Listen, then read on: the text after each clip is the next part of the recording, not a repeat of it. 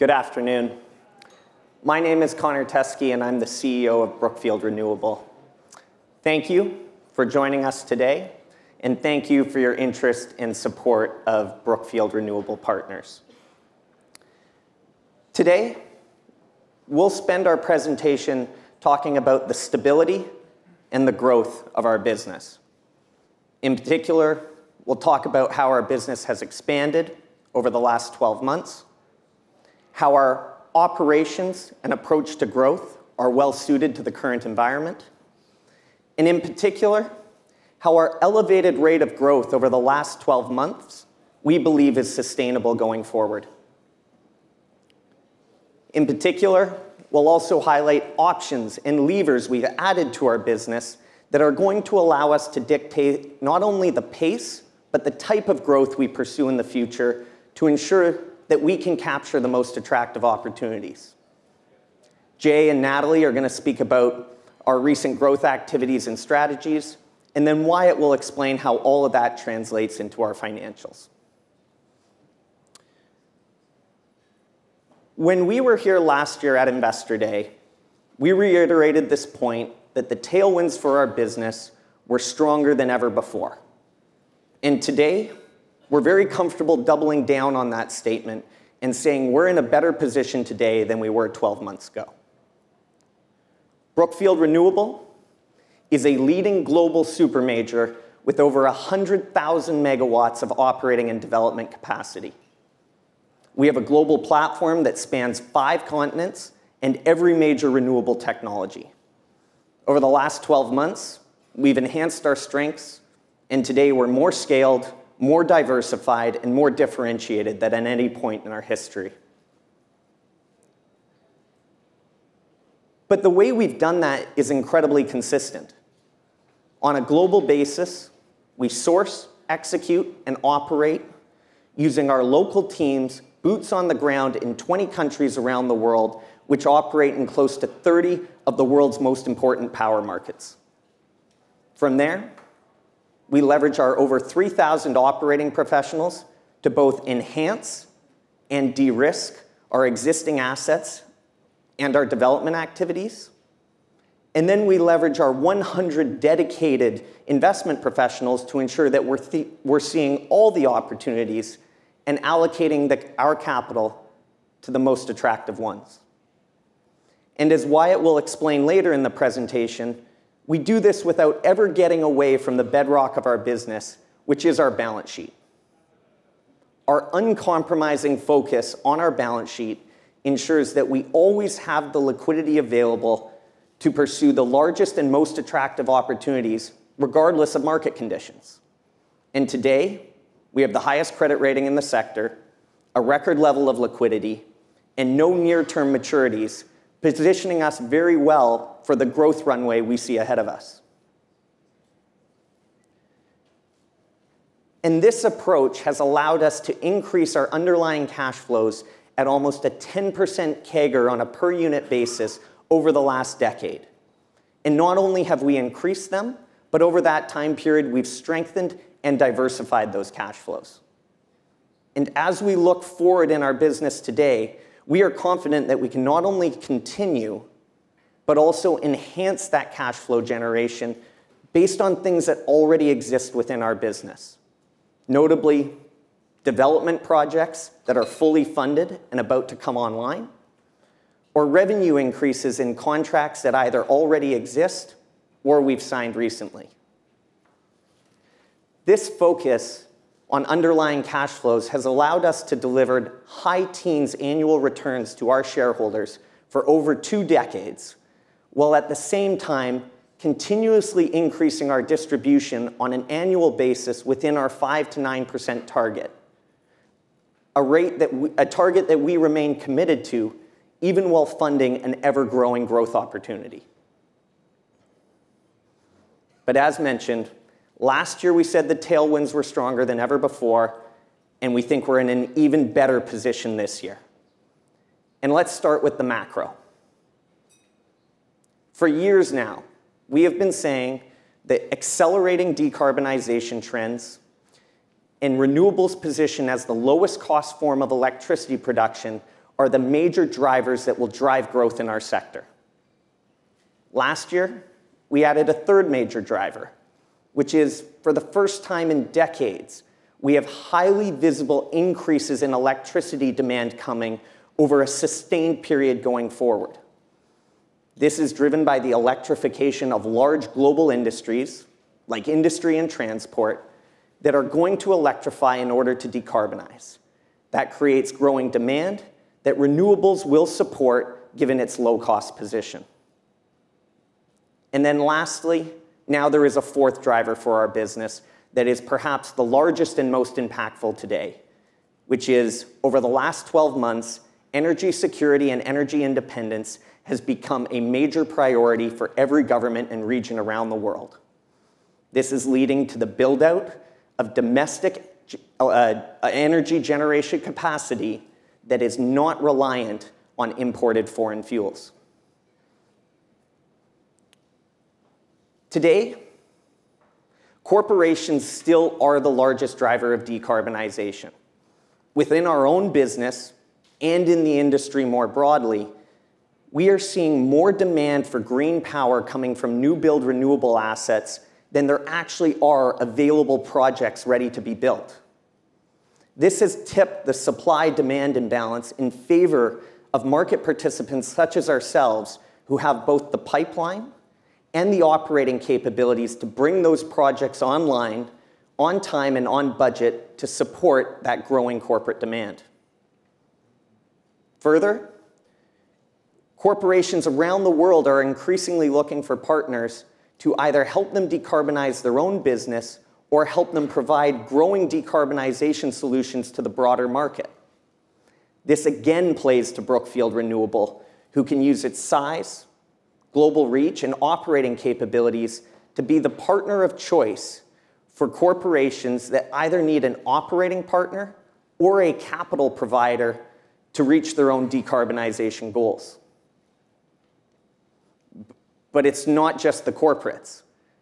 Governments are increasingly throwing their support behind the build out of renewables and other decarbonization solutions. If you look at the slide, in every one of our major markets around the world.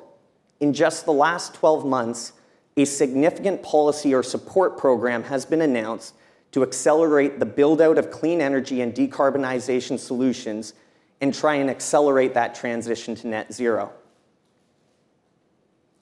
And what's important to remember from our perspective is while our industry will benefit significantly from these new policies and support programs, we did not take them into account in any of our underwritings, and therefore they represent upside for our existing assets and our recent investments. Renewables continue to hold that position as the lowest cost source of bulk electricity production in every major market around the world, a position they've held for years now. And that is why renewables are going to be the sector that capture that growing electricity demand in the future. But perhaps what's more important over the last 12 months is renewables have proven not only to be the cheapest form of bulk electricity, but also the most stable. Because they are not subject to input costs that have become increasingly high and volatile over the last 12 months. And therefore, the economic benefits of renewables are stronger today than ever before. And then lastly, we get to the single biggest driver and the new driver, which is energy independence and energy security is a high priority for every major market around the world. And to put it very simply, renewables are the solution. In the Venn diagram of global objectives of net zero and low cost energy and energy security, renewables are the complementary shaded area in the middle because you don't need to import the sun and you don't need to import the wind. And that is why governments around the world are working as hard as possible to accelerate the build out of domestic generation. We've actually seen this happen before, not recently, but if you take yourselves back to the energy crisis of the 1970s, when people were concerned about a shortage of imported fuels and high and volatile energy prices, what did it lead to? it led to a sustained build-out of domestic generation that wasn't subject to foreign imports. At the time, that was a significant build-out of nuclear.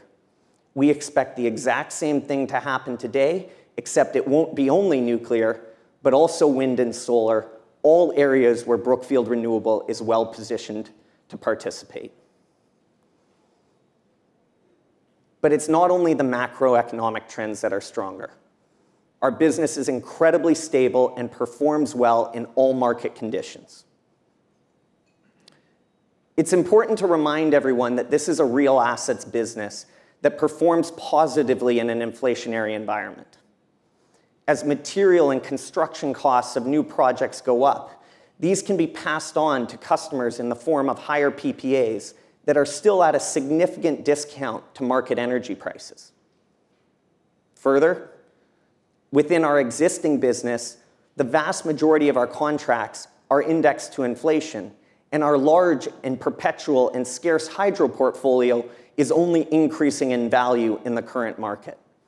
And therefore, both the cash flows and value of our underlying businesses naturally increase during the current macroeconomic conditions.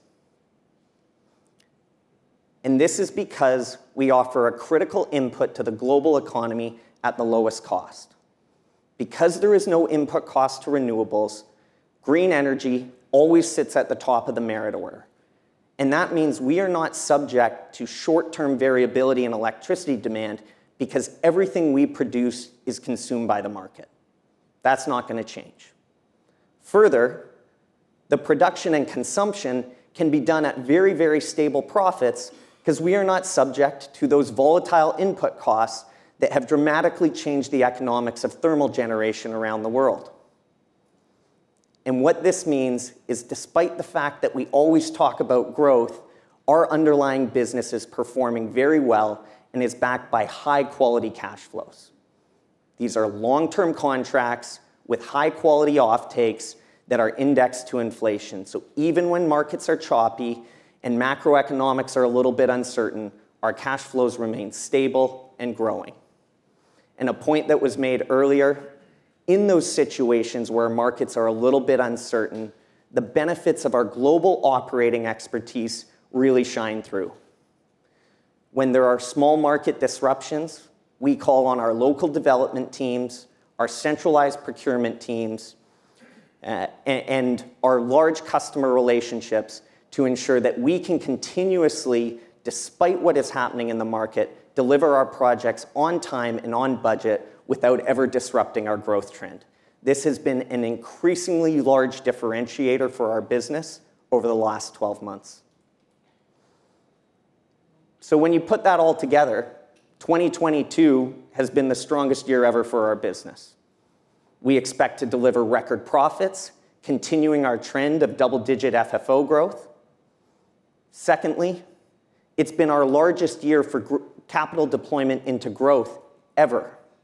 In fact, if you look at the slide, we've deployed more capital into growth in the last three years than our entire history up to 2019. And what's most important is we've done that without compromising on our 12 to 15% return targets that have existed for two decades.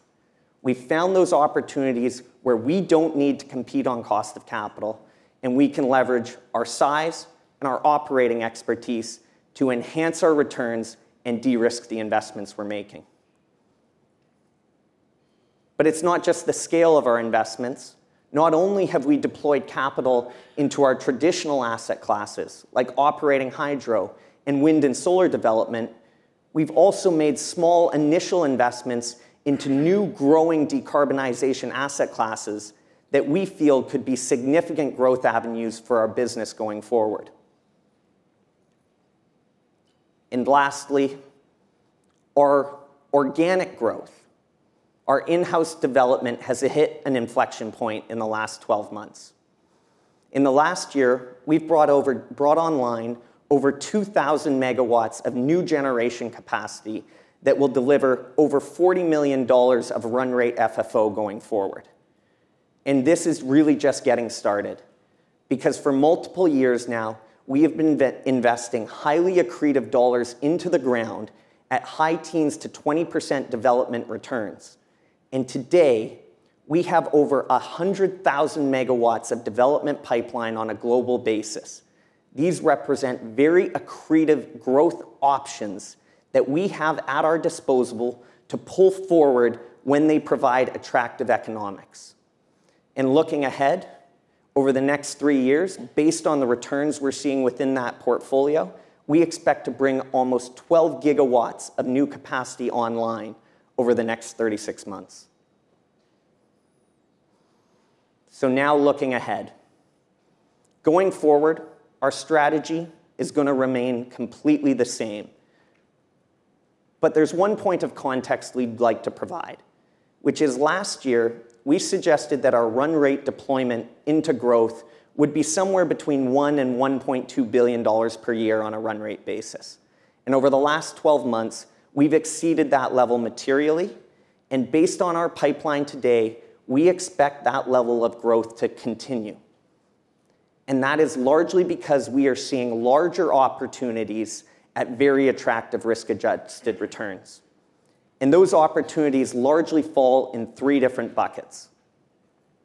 First is platforms. And what we mean by platforms is buying businesses that not only come with a very attractive portfolio of underlying assets, but also a capable management team that we can empower and support to find their own value and create their own growth. These represent very attractive upfront initial investments, but also future deployment opportunities as those management teams build out the existing development pipeline within those businesses. The second major type of investment is business transformations.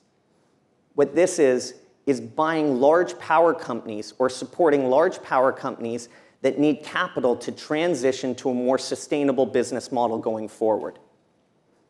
We view these as very attractive investments 'cause we can usually enter at a very attractive value entry point and buy a cash-generative business that we can deploy further capital in over time to rationalize the thermal capacity and replace that capacity with low-carbon renewables. And we can put that incremental capital in at very attractive returns by using things like the interconnection and the offtakes that already exist within those businesses. And then lastly, as Natalie will speak to shortly, we are increasingly seeing new decarbonization asset classes that are growing very rapidly, that could represent large and attractive growth avenues for our business going forward.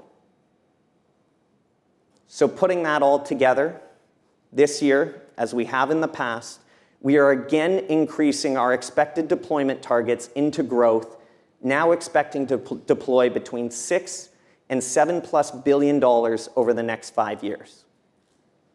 In conclusion, and before handing to Jay, we believe our business is in a better position than ever to execute in the current environment. Our visibility to double-digit cash flows is more certain than it's ever been in the past, and we believe that we are well-positioned to maintain the elevated rate of growth that we've seen over the last 12 months. With that, I'll hand over to Jeh.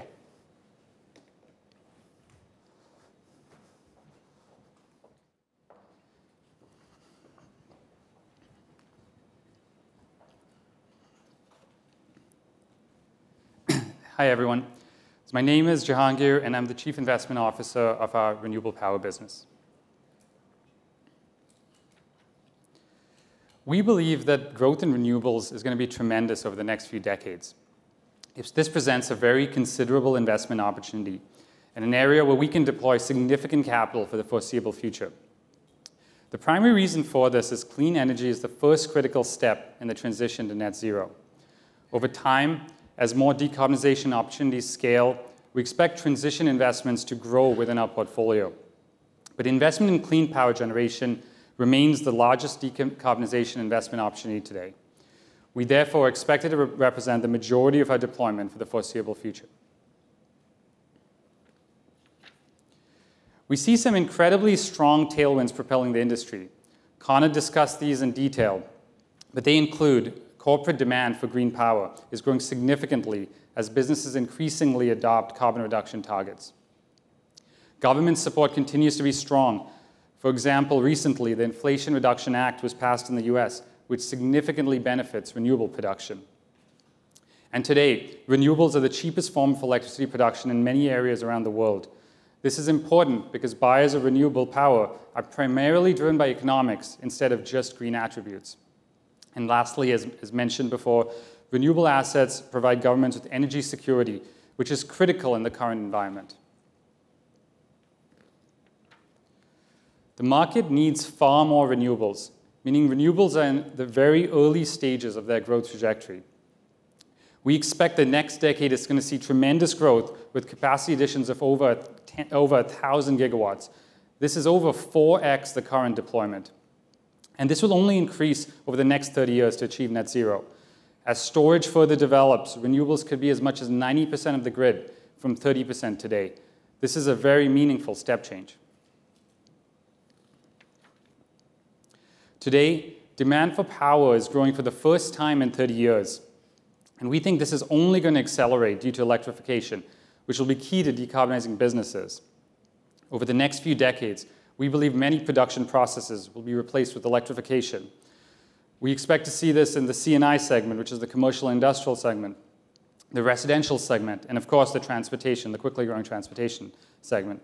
And this takes place through technologies like electric cars and buses, heat pumps in buildings, and electric furnaces for steel. Renewables, given their low cost position and zero carbon emission profile, are very well positioned for that growth. Renewable power portfolios are getting to greater scale, and developers and off-takers are keen to work with strong, reliable partners that have the global presence and deep operating capabilities as we do. Investing in renewables is competitive, but we remain very differentiated in our approach. We focus on large-scale transactions where we can leverage our operating platform and our strategic advantages. We believe our track record, ex expertise in complex development, and strong relationships with customers allows us to be the counterparty for choice for renewables investments. Our global renewable power platform is what gives us this leadership position. Today, we manage a highly diversified portfolio of renewable assets across four continents and five technologies. Our presence in all major power markets globally ensures that we see all potential growth opportunities. We have significant platforms in North America, South America, Europe, and Asia, this allows us to make acquisitions of scale in these regions. And now we've also executed sizable transactions across all major renewable sectors in the last 12 months. Examples of these we'll talk about in some more details. Our greatest value is our multifaceted platform that operates across all major markets. We have 3,000 operating professionals around the world who help, help us execute on a broad range of opportunities. Our platform includes strong equipment procurement, PPA origination, and power marketing capabilities, which significantly differentiates us and allows us to maximize value for investments. This means that we not only buy renewables, but can develop, build, and operate them, which gives us a very meaningful advantage in the market. Given our position as a partner of choice, we've established a diverse customer base with approximately 800 different customers across all types of off-takers, multiple global regions, and all major renewable technologies. Our global reach, scale, and various platforms allow us to generate consistent growth and be a reliable counterparty for renewable projects. When we think about underwriting deals, we can create a lot of additional value through our commercial expertise. In this current environment, counterparties often give us preferable terms because they value certainty of build and reliability. As a result, we're able to create strategic partnerships with some of the preeminent buyers of renewable energy. Some examples. With Amazon, we entered into a strategic collaboration agreement to develop renewable projects underpinned by PPAs from them. And with BASF, a multinational chemical company, we signed a 25-year fixed-price renew renewable energy supply agreement to power one of its large largest production facilities that it's building in China. Now, we want to highlight how we have put all these capabilities into practice and leveraged our strengths to secure attractive investments and enhance operational value. As you can see, we've been able to significantly accelerate and enhance a development pipeline across regions and technology type. Our development pipeline currently stands at approximately 100 gigawatts, which is over three times the size it was when we stood here last year. This pipeline includes many high-quality, high-returning projects that are valuable options for us to develop.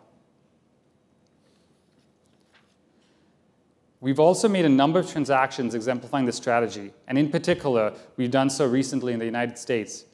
We've bought three large renewable development platforms, one across each of utility-scale solar, distributed generation, and wind. This is 1.5 gigawatts of operating assets, nearly 50 gigawatts of development pipeline, and nearly 3 billion of total investment, and it's expected to deliver 2 gigawatts of annual development on a runway basis. Urban Grid has significant transmission capacity in the highly constrained and valuable PJM market. Since buying the platform, we've been able to contract 1 gigawatt of projects with very strong PPA pricing. We also recently closed on the acquisition of Standard Solar. Standard Solar is a leader in distributed generation with close to 500 megawatts of operating and under construction assets and an exceptionally strong development pipeline and platform. And lastly, today, we announced the acquisition of Scout Clean Energy, which is primarily focused on wind development, but also has quite a strong operating asset base and a very strong development team. All of these investments have a similar theme. They leverage Brookfield's value levers, and most importantly, are independent businesses that will find their own future growth and add their own value. We also think the timing of these investments is incredibly important. We underwrote these investments to attractive returns, but all three platforms will meaningfully benefit from the Inflation Reduction Act, which provides further upside to our investments. We are fortunate with these recent acquisitions. We are uniquely positioned to benefit from the act, making our growth prospects in the U.S. very significant. And overall, we expect these businesses and our platform to be well-placed as renewable economics strengthen and the opportunity set grows. To put it all together, we intend to continue to scale and grow our renewable investments globally.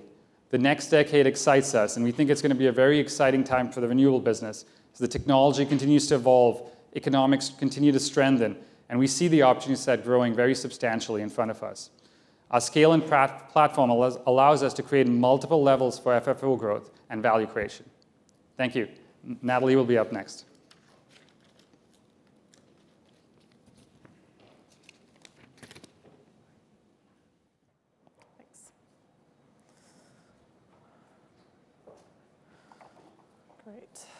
Thanks, Jay. As Jay and Connor have, all, have both already mentioned, renewables has, has always been and will always remain the backbone of our business. But for more than five years now, we've been diversifying our asset base, both into the new technology classes and renewables that you just heard Jay speak about, but also into new high-growth areas and asset classes, like in the energy transition. Today, this segment of our business represents over 10% of our AUM. And as the need for decarbonization-enabling infrastructure grows, the need for capital, and therefore the potential investment universe, also grows. As this universe grows, we expect that this segment, uh, uh, this segment as a percentage of BEP's over our overall portfolio will also continue to expand. Now, having a decarbonization strategy in today's landscape no longer seems novel. But because this is something that we have been meaningfully, uh, we have been building towards for over five years, we benefit from having the largest transition franchise in the market today and the unrivaled first mover advantage that comes with that. Now, it starts, of course, with our renewable platform. Our global and diversified presence in renewable energy already gives us a clear leadership position. And now that we have BGTF, our $15 billion global transition fund, which today is the largest fund, the largest global fund focused exclusively on decarbonization, we also have that leadership position.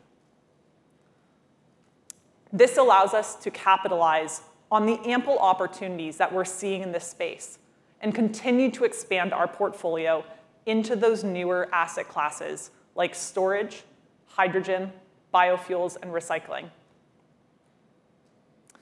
And the reason we're so well positioned to be successful is because we possess those four key attributes that you heard Connor speak about earlier in his presentation.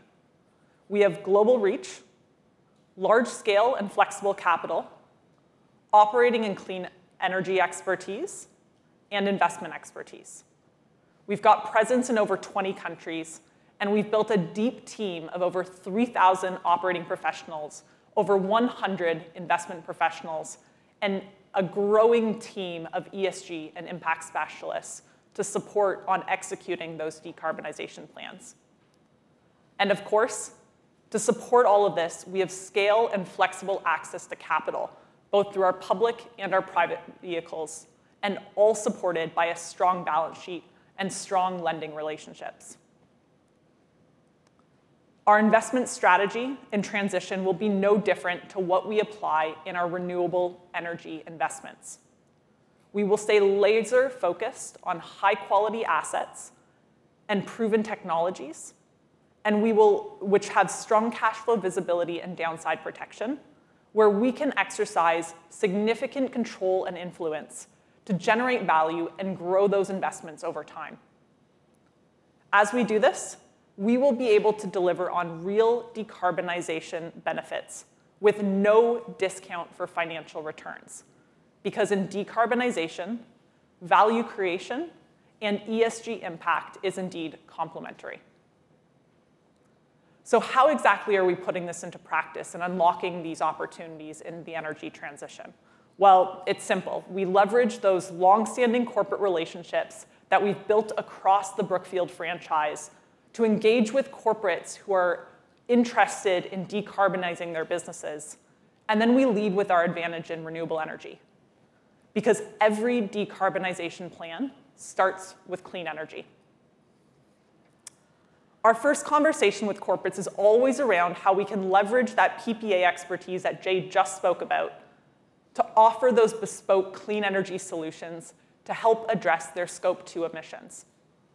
Once we've established that relationship, we're then able to engage with them to understand their other changing energy needs as they're implementing solutions to reduce their Scope 1 emissions as well. Right now, we're having conversations with corporates who are looking to electrify uh, their current processes or to implement low carbon alternative fuels into their existing processes or install carbon capture equipment onto their existing machinery. Once we understand what those plans are, we can offer to either help fund those investments or to introduce them to our portfolio companies who possess the knowledge and expertise in those asset classes, and then we invest our capital into those, those solutions through those platforms.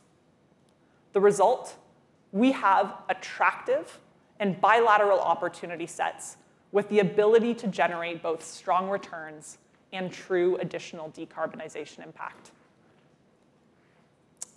And it's as we've grown this portfolio of transition asset classes that we have continued to establish ourselves as a one-stop shop for decarbonization solutions, and really to cement our position as a trusted and preferred, preferred partner for corporates who are looking to decarbonize. Our investment strategy will take us where the emissions are. We want to invest in and alongside some of the economy's hardest to abate but critical sectors like power, industrials, transport, and energy. This could be through us buying a utility and then helping them to reduce their thermal emissions as we build out renewable energy production. Or we could partner with businesses across all sectors directly investing into their major emission reduction projects, which help them meet their own net zero goals. And in addition to helping to transform these heavy emissions business, businesses, we're also dedicating capital to scale the proven and low carbon products and solutions that they will require in order to meet their net zero plans. This includes through investments into assets, asset classes like carbon capture, hydrogen, renewable fuels, and recycling solutions. And all of this will give BEP an enhanced opportunity set through which to continue to deliver on the historic growth that you've seen us deliver for the past five years. The opportunity set as we expand our portfolio into these areas is large. By 2030, annual investment into low-carbon solutions will need to reach $4 trillion of capital to scale these asset classes. Let me repeat that. That's $4 trillion annually. This will require creative funding solutions and significant capital to scale these asset classes as the technologies prove out and CapEx costs come down. In BGTF, we're already positioning ourselves to do exactly that through acquiring options which will enable us to deploy significant capital as the preferred scaling partner of choice across a range of technologies as these assets develop over the coming years. We've already made a number of small initial investments totaling around $100 million. And while these initial investments are small, they're downside protected. And in exchange, we will get preferred rights to invest up to $5 billion of follow-on equity as those businesses develop and as projects are brought brought forward. This strategy has a number of appealing benefits to us. First, all of these opportunities give us discretion over deployment of follow-on equity on a project-by-project basis. This means that we'll be able to allocate our capital to the best sectors and the best technologies as these asset classes scale over time. Second, it gives us access to additional sourcing channels via our own partners and their business development efforts. This allows us to keep our investment teams lean and focused on identifying new large growth opportunities for our business over time. And third, it allows us to have real impact in aiding the transition by bringing our contracting knowledge and our project financing expertise to help turn these technologies into the core stabilized infrastructure asset classes of the future. I want to finish today by briefly spotlighting how we're applying that strategy that I just talked about into the carbon capture space. This is a space where we've already made two investments, each focused in two of the most attractive jurisdictions for carbon capture today, Canada and California. These investments, uh, the first one being our partnership with CRC and the second one being our investment into Entropy, are both structured in a way, in such a way that gives Brookfield strong downside protection, either via um, minimum equity returns at conversion or put rights. Furthermore, we have full discretion over future capital spend into follow-on projects. If those pipelines develop as planned, it will result in uh, up to 2 billion of equity deployment opportunities over the fund life and bring online over 8 million tons of annual carbon capture capacity by 2030. In fact, we've already commissioned our first commercial-scale carbon capture asset in Alberta, Canada, through our Entropy investment, one which we expect will be the first of many. I'll end here for today, but I hope I've left you with the same feeling of excitement that we have about the scale of the opportunity in transition, and in particular, the substantial growth opportunity that this will have on BEP's portfolio over time. But of course, no growth is possible without a strong balance sheet. So with that, I'll bring up our last speaker for renewables, Wyatt, to talk about our financials.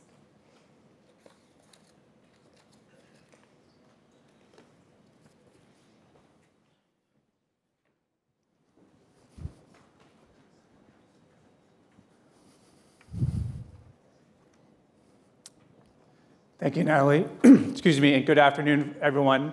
Uh, for those of you who don't know me, my name is Wyatt Hartley, and I'm the Chief Financial Officer of the Renewable Group here at Brookfield.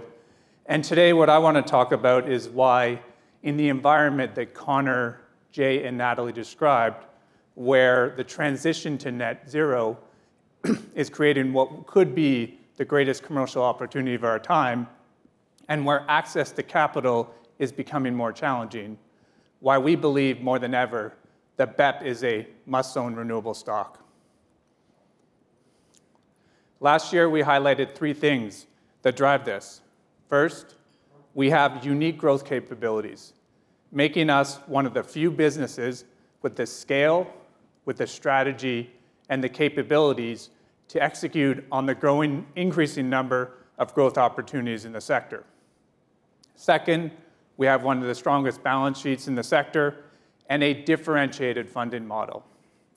And finally, as Connor mentioned, our cash flow growth is increasingly secure, generating almost 10% FFO per unit growth through organic initiatives alone, and a strong likelihood of outperforming to the extent we benefit from additional M&A or development activities. So our current message today is that in the current environment, our business is even, even further differentiated by these factors, and it's for the following reasons. Starting with the strength of our balance sheet and our access to deep and varied sources of liquidity, which has become even more valuable in an increasingly volatile capital market. Of course, underpinning all of this is the strength of our financial position. Most importantly, we have a strong triple B positive investment-grade balance sheet.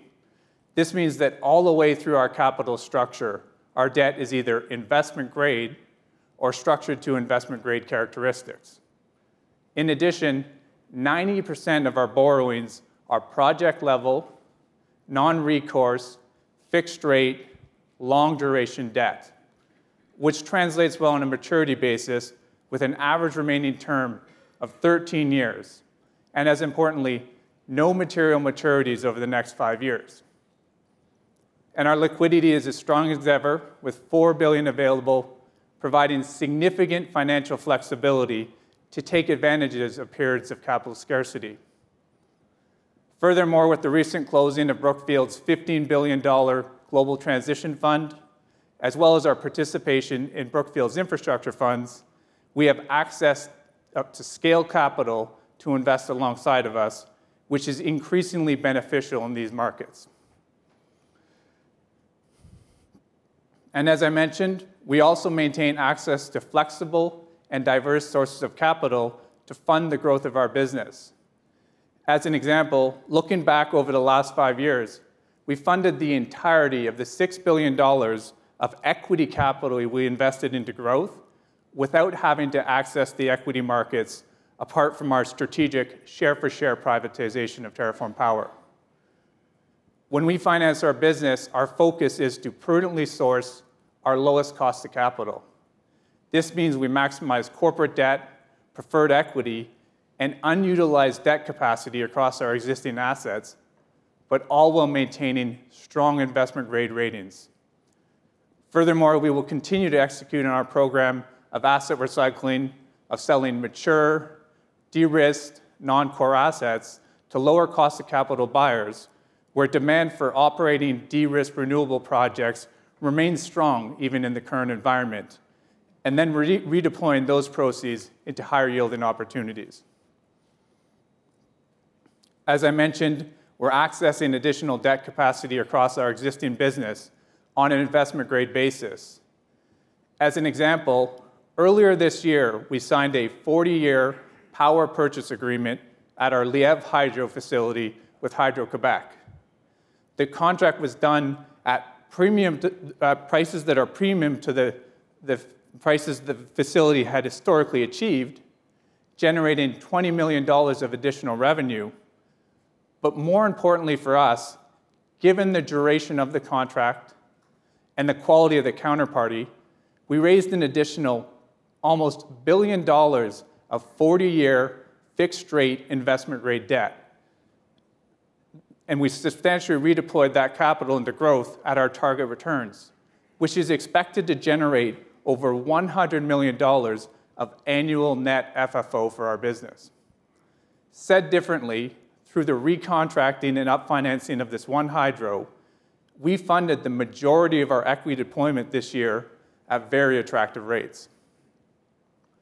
Furthermore, with approximately 5,500 gigawatt hours of generation available for recontracting across our portfolio over the next five years, and an increasingly constructive pricing environment for hydros, we have significant capacity to execute on similar contracts that we expect to contribute additional FFO, as well as generating a highly accretive funding source for our growth. All of this means that we have a differentiated cost of capital. This comes from our ability to access additional investment-grade debt capacity across our hydros, as I just mentioned. It comes from executing on our capital recycling program. But it also comes from the fact that we maintain our strong investment-grade rating, meaning our corporate financings are not reliant on the high-yield markets, which have seen a meaningful cost increase, as well as the fact that we are not relying on equity issuances except to the extent we do large strategic transactions, all of which translates to a very meaningful cost of capital advantage for our business. And when we are putting this capital to work at target equity returns of 12 to 15%, the benefit of building long-term value to our shareholders is very meaningful. Moving next to the quality of our cash flows, and I covered this uh, a little bit last year, but to quickly remind everyone, we believe we generate the highest quality cash flows in the sector. This comes from our largely perpetual and dispatchable asset base, our highly contracted profile that has an average duration of 14 years, with 70% of our revenues indexed to inflation, as well as our high margins, given we have little to no input costs, meaning our cash flows benefit in an inflationary environment. And finally, we have very little exposure to floating-rate debt. And as we have grown the business, we have also significantly de-risked our cash flows by increasing the diversity of our portfolio. Our current business is diversified across multiple markets and technologies such that no single market represents more than 10% of our business. Furthermore, as Jay mentioned, we continue to be focused on maintaining a high-quality customer base with over 800 investment-grade customers under long-term contract, meaning our largest non-government third-party customer represents less than 3% of our generation. And finally, as a result, we have no material foreign exchange exposures. And as a result of all this, we are well-positioned to continue to deliver on our decade-long track record of annual FFO per unit growth of greater than 10%. As we have highlighted previously, we have multiple levers to drive our cash flow growth, both organic and M&A. And as Connor mentioned, in the current environment, we are seeing meaningful tailwinds for each of our growth levers, meaning the cash flow growth of our business is increasingly secure.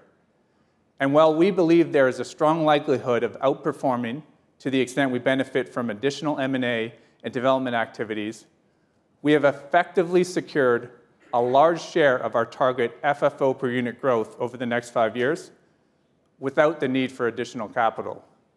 And this comes from three basic building blocks.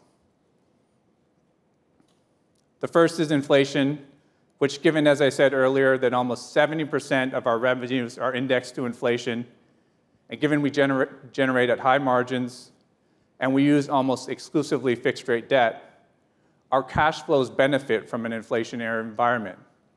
And therefore, we expect to generate a minimum 2% annual FFO per unit growth over the next five years, with material upside if we are in a period of prolonged higher inflation. And from a margin enhancement perspective, we're also well-positioned to benefit from increased demand for baseload carbon-free generation. The way to think about this is that over the next five years, and I mentioned this earlier, we have approximately 5,500 gigawatt-hours of generation that is rolling off contracts. And if we were to recontract this generation at current all-in market prices on a forward basis, which includes the grid stabilizing services and renewable energy credits that we sell from our dispatchable hydros, the net impact to our cash flows will be positive, generating over $130 million of annual FFO, or 3% annual FFO per unit growth over the next five years.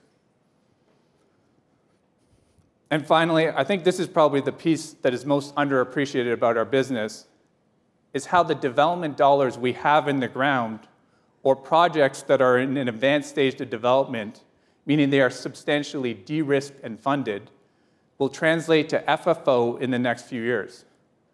Looking at the detail, we have close to 6,000 megawatts of projects where our development dollars are substantially in the ground and are expected to deliver $80 million of annual FFO when commissioned. Further, we have an additional over 6,000 megawatts of advanced stage development projects that have been materially de-risked and for which we have secured substantially all the required funding.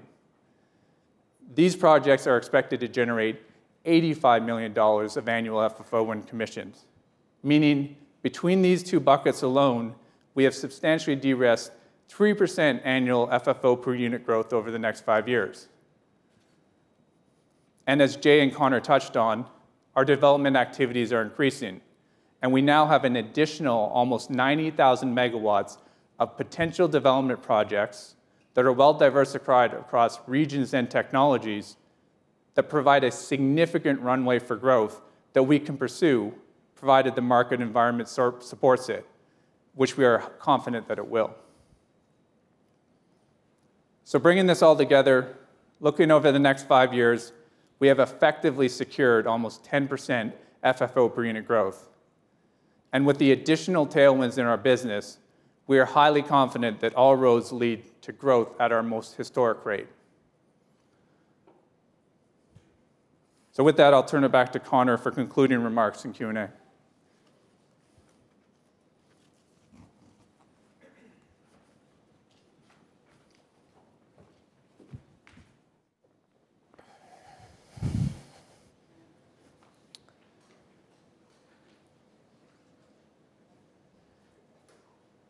Great.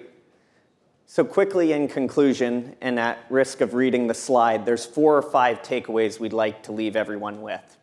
First and foremost, the tailwinds for our business continue to accelerate and are now stronger today than ever before, and the current environment plays very well to the strengths that are inherent and unique to our business.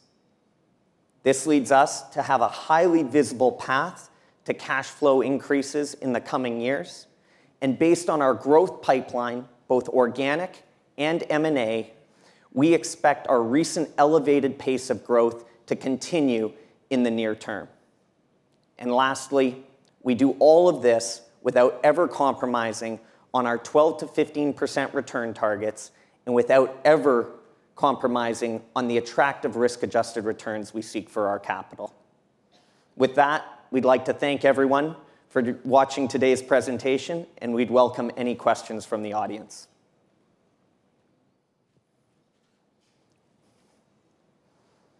Uh, excuse me, Andrew Kuske, Credit Suisse. Connor, if you look out five or 10 years, how do you think about the composition of Brookfield Renewable? And it weaves into a little bit of Bruce's comments earlier on with Mark.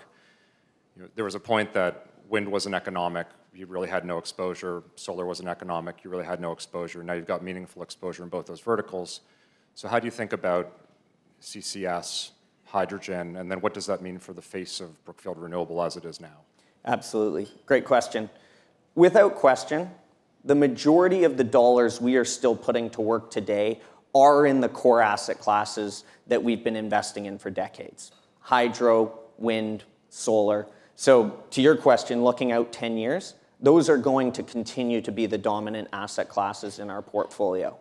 But absolutely reinforcing what Natalie said, the energy transition and decarbonization solutions component, while it might be just shy of 10% today, we do expect that to grow, but renewables are still going to be the dominant uh, majority.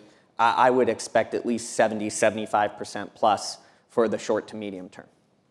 Okay, that's helpful. Then just maybe as a follow-up, do you have an incubation strategy for certain businesses? Like CCS is a good example where potential is large, very large, but it's really in the early stages of things. When when do you step in, really early stage, grow it, and then spin it off? Or do you stick for around for the longer term? Certainly. So we, we approach CCS the exact same way we approach wind and solar five or 10 years ago. We are investing in these asset classes because we expect them to grow materially over the coming decade. And while we may sell individual assets within, let's say, our, carbon capture portfolio, we expect to be a consistent and major player in that space and always will retain the platform from which we can either buy assets or develop assets in-house. So the same way we've treated wind and solar, we may recycle individual assets, but these asset classes that we've entered, we expect to maintain our exposure to in perpetuity.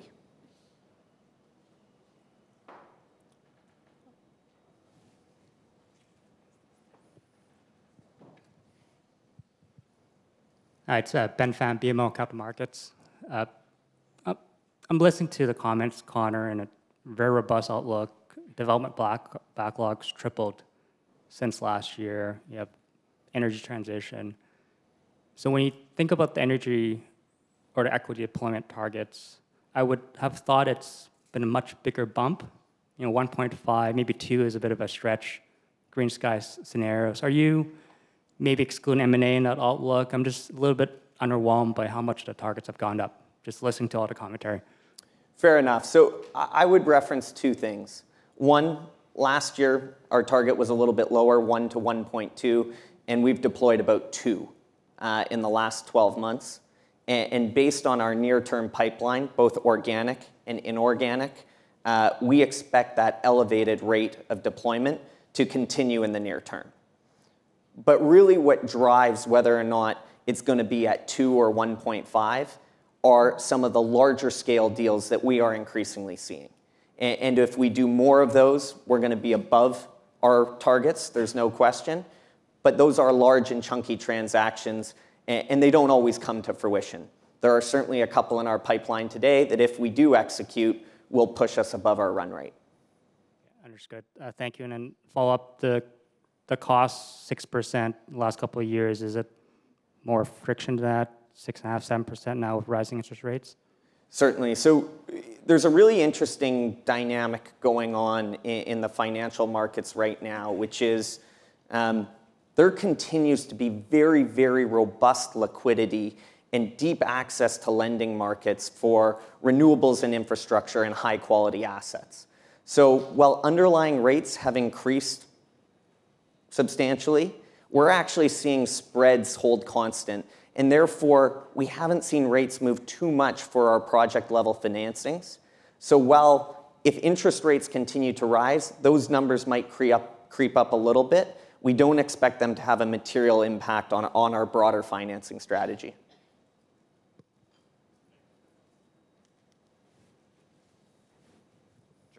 Thank you. Uh, Rob Hope, Scotiabank. Uh, just to follow up on Ben's question there, you mentioned that you're seeing, you know, a number of large opportunities in the pipeline. You know, if we look back over the last 12 months, you've been very successful in a number of acquisitions, but we'll call them not necessarily operating assets. They'll be, you know, a little bit of operating, but a large development backlog there. So when you look forward, and just given the scale of capital that's chasing all these opportunities, do you need that development kicker to compete, or do you need, you know, some other form of differentiation to, uh, you know, set your returns apart from your peers? So if we were to look at our deployment over the last 12 months, um, what's interesting is we exercise the same capital discipline in all market environments. And if you go back to last year, we put a lot of pucks on net and didn't score as many goals as we would've liked. And I think that's because markets were very, very frothy, everyone had unlimited access to capital, and there was an absolute gold rush of money into renewables. Now, you fast-forward to this year, and using the exact same capital discipline and approach to underwriting, we're having a much higher shooting percentage. And the fact that things that, that a number of the transactions we've done this year are development, that's purely opportunistic. Especially in the current market environment, I think our access to capital significantly differentiates us, and we could see many opportunities to buy operating assets at attractive returns in the next 12 months.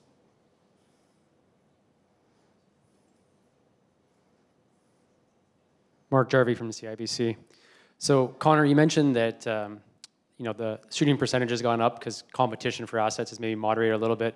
If we flip that around, how does that look for then asset sales? Looks like that as the funding mix has come down a little bit. And then maybe you can expand on the, um, the, the strategic privatization and, and, and how you came up with that number in the funding mix and whether or not privates are open to that as well as just public companies. Definitely. Um, so when it comes to, to capital recycling, it's important to, to recognize what we do in our business.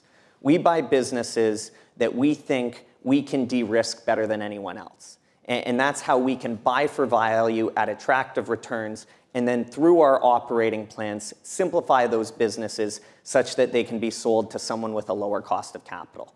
And that, that margin compression between where we buy and where we can sell our mature businesses that are at the end of our business plan is still very, very significant.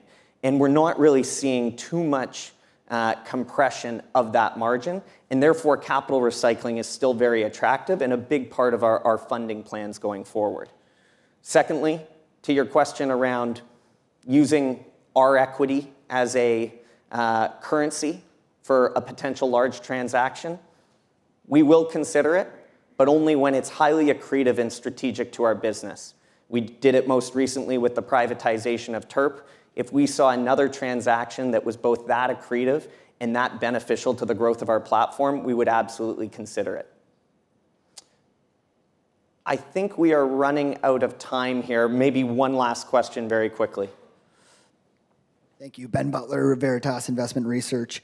Um, you guys are forecasting um, power prices in North America to be $77 per megawatt hour over the next decade. I'm just curious how this compares to your more recent uh, PPA with 40-year uh, PPA with Hydro uh, Quebec that you recently signed. Certainly. So power prices have gone up significantly, and there's certainly a difference between when you contract a 40-year PPA versus what power prices are going to be in the short term, which are much more driven by things like near-term gas prices. Uh, what we would say is we are coming out of an extended period of very low power prices to ones that are much more constructive for our business over the long term. And we will take advantage of that. As Wyatt mentioned, we have a significant amount of uncontracted capacity. We are continuously locking that in, which means not only are we going to reap the benefits of those higher power prices this year, we're locking in those higher power prices for the short to medium term. So we'll, we'll enjoy those benefits for several years to come. Great. Thank you. Thank you very much. We appreciate everyone's time.